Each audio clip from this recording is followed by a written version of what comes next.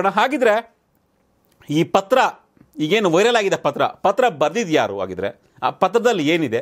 ಆಳಂದ ಶಾಸಕ B R Patil ನಿಜಕ್ಕೂ ಕೂಡ ಈ ಪತ್ರವನ್ನು ಬರೆದ್ರ? ಅದನ್ನು ನೋಡೋದಾದರೆ, ಎಸ್, ಒಂದು ಪತ್ರ ತುಂಬ ವೈರಲ್ ಆಗ್ತಾ ಇದೆ. ಈ ಪತ್ರವನ್ನು ಆಳಂದ ಕಾಂಗ್ರೆಸ್ ಶಾಸಕ ಬಿ ಆರ್ ಪಾಟೀಲ್ರು ಬರೆದಿದ್ದಾರೆ ಅನ್ನೋ ಒಂದು ಮಾಹಿತಿ ಸಿಗ್ತಾ ಇದೆ. ಸೊ ಏನಿದೆ ಆ ಪತ್ರದಲ್ಲಿ ಅನ್ನೋದನ್ನು ನೋಡೋದಾದರೆ, ಜನರ ವಿಶ್ವಾಸ, ಭರವಸೆ ಹಾಗೂ ಅವರ ಪ್ರೀತಿಯಿಂದ ನಾವು ಶಾಸಕರಾಗಿ ಆಯ್ಕೆಯಾಗಿದ್ದೇವೆ ಆದರೆ ನಮ್ಮನ್ನು ಆರಿಸಿಕೊಳ್ಳಿಸಿದ ಜನರ ವಿಶ್ವಾಸಕ್ಕೆ ತಕ್ಕಂತೆ ಅಭಿವೃದ್ಧಿ ಕೆಲಸ ಮಾಡೋದಕ್ಕೆ ಸಾಧ್ಯ ಆಗ್ತಾ ಇಲ್ಲ.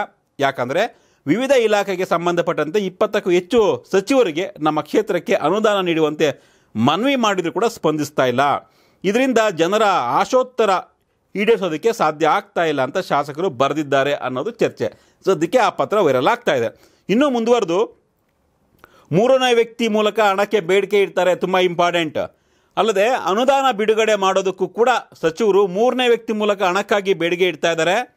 ಸ್ಥಳೀಯ ಶಾಸಕರು ನಾವೇ ಆಗಿದ್ದರೂ ಕೂಡ ಅನುದಾನಕ್ಕಾಗಿ ಮೂರನೇ ವ್ಯಕ್ತಿಯ ಮೊರೆ ಹೋಗಬೇಕಾಗಿರೋದು ಅತ್ಯಂತ ಬೇಸರದ ಸಂಗತಿ ಅಂತ ಬಿ ಆರ್ ಪಾಟೀಲ್ ಆರೋಪ ಮಾಡಿದ್ದಾರೆ ಅನ್ನೋದು ಈ ಪಾತ್ರದಲ್ಲಿದೆ.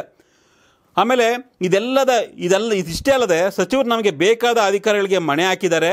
ತಮಗೆ ಬೇಕಾದವರಿಗೆ ಸ್ವಜನ ಪಕ್ಷಪಾತ ಮಾಡ್ತಾ ಇದ್ದಾರೆ. ನಮ್ಮ ಯಾವುದೇ ವರ್ಗಾವಣೆ ಶಿಫಾರಸು ಪತ್ರಗಳಿಗೆ ಮಾನ್ಯತೆ ಕೊಡ್ತಾ ಇಲ್ಲ. ಇದರಿಂದಾಗಿ ಯಾವ ಅಧಿಕಾರಿಯೂ ನಮ್ಮ ಕೆಲಸವನ್ನು ಮಾಡಿಕೊಡ್ತಾ ಇಲ್ಲ. ನಮ್ಮ ಮಾತಿಗೆ ಬೆಲೆ ಕೂಡ ಕೊಡ್ತಾ ಇಲ್ಲ. ಆದ್ದರಿಂದ ತಾವು ತಕ್ಷಣವೇ ಮಧ್ಯಪ್ರವೇಶಿಸಬೇಕು.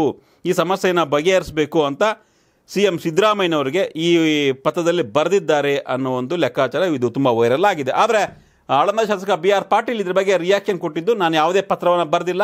ನನ್ನ ಹೆಸರಲ್ಲಿ ಏನು ಓಡಾಡ್ತಾ ಇದೆ ಪತ್ರ ವೈರಲ್ ಆಗಿದೆ. ಲೆಟರ್ ಹೆಡ್ನಲ್ಲಿ ಅದು ನಕಲಿ ಪತ್ರ ಅಂತ ಶಾಸಕ ಬಿ ಆರ್ ಪಾಟೀಲ್ ಸ್ಪಷ್ಟನೆಯನ್ನು ಕೊಟ್ಟಿದ್ದಾರೆ. ಒಟ್ಟಿನಲ್ಲಿ ಒಂದು ವೇಳೆ ಈ ಪತ್ರ ನಿಜಾನೇ ಆಗಿದ್ದರೆ ಬಿ ಆರ್ ಪಾಟೀಲ್ರೇ ಬರೆದಿದ್ರೆ, ಸೊ ಮೂರನೇ ವ್ಯಕ್ತಿ ಮುಖಾಂತರ ಹಣಕ್ಕೆ ಬೇಡಿಕೆ ಅಂದರೆ ಸಚಿವರು ಶಾಸಕರಿಂದ ಲಂಚವನ್ನು ಪಡಿತಾ ಇದ್ದಾರಾ ಆಗಿದ್ರೆ, ಶಾಸಕರ ಮಾತಿಗೆ ಬೆಲೆ ಇಲ್ವಾ ಆಗಿದ್ರೆ, ವರ್ಗಾವಣೆ ಈ ಹಿಂದೆ ಮಾಜಿ ಸಿ ಎಂ ಕುಮಾರಸ್ವಾಮಿಯವರು ಒಂದು ಪ, ಹೇಳಿಕೆಯನ್ನು ಕೊಟ್ಟಿದ್ದರು ಶಾಸಕರ ಶಿಫಾರಸಿನ ಪತ್ರಕ್ಕೂ ಕೂಡ ಯಾವುದೇ ರೀತಿಯ ಕಿಮ್ಮಕ್ಕಿಲ್ಲ, ಮೂವತ್ತು ಲಕ್ಷ ತಗೊಂಬನ್ನಿ ಅಂತ ಕೇಳ್ತಾ ಇದ್ದಾರೆ ಸಿ ಎಂ ಆಫೀಸು ಅಂತ.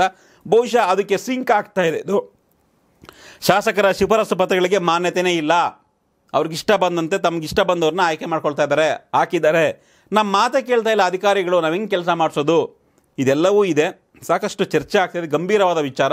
ಬಟ್ ಬಿ ಆರ್ ಪಾಟೀಲ್ ನಾನು ಹೇಳಿಲ್ಲ, ನಾನು ಬರೆದಿಲ್ಲ, ಪತ್ರ ನಕಲಿ ಅಂತ ಹೇಳ್ತಿದ್ದಾರೆ. ಬಟ್ ಬಸವರಾಜ ರಾಯರೆಡ್ಡಿಯವರು ಬಿ ಆರ್ ಪಾಟೀಲ್ ಪತ್ರ ಬರೆದಿದ್ರು, ಅದಕ್ಕೆ ನಾವು ಸಹಿ ಹಾಕಿದ್ವಿ ಅಂತ ಅವರೊಂದು ಹೇಳಿಕೆಯನ್ನು ಕೊಡ್ತಾ ಇದ್ದಾರೆ. ಅಂದರೆ ಒಬ್ಬೊಬ್ಬರದ್ದು ಒಂದೊಂದು ಹೇಳಿಕೆ ಆಗ್ತಾ ಇದೆ. ಹಾಗಿದ್ರೆ ಏನಾಗ್ತಾ ಇದೆ? ರಾಜ್ಯ ಕಾಂಗ್ರೆಸ್ನಲ್ಲಿ, ರಾಜ್ಯ ಕಾಂಗ್ರೆಸ್ ಶಾಸಕರಲ್ಲಿ, ಕಾಂಗ್ರೆಸ್ ಸರ್ಕಾರದಲ್ಲಿ.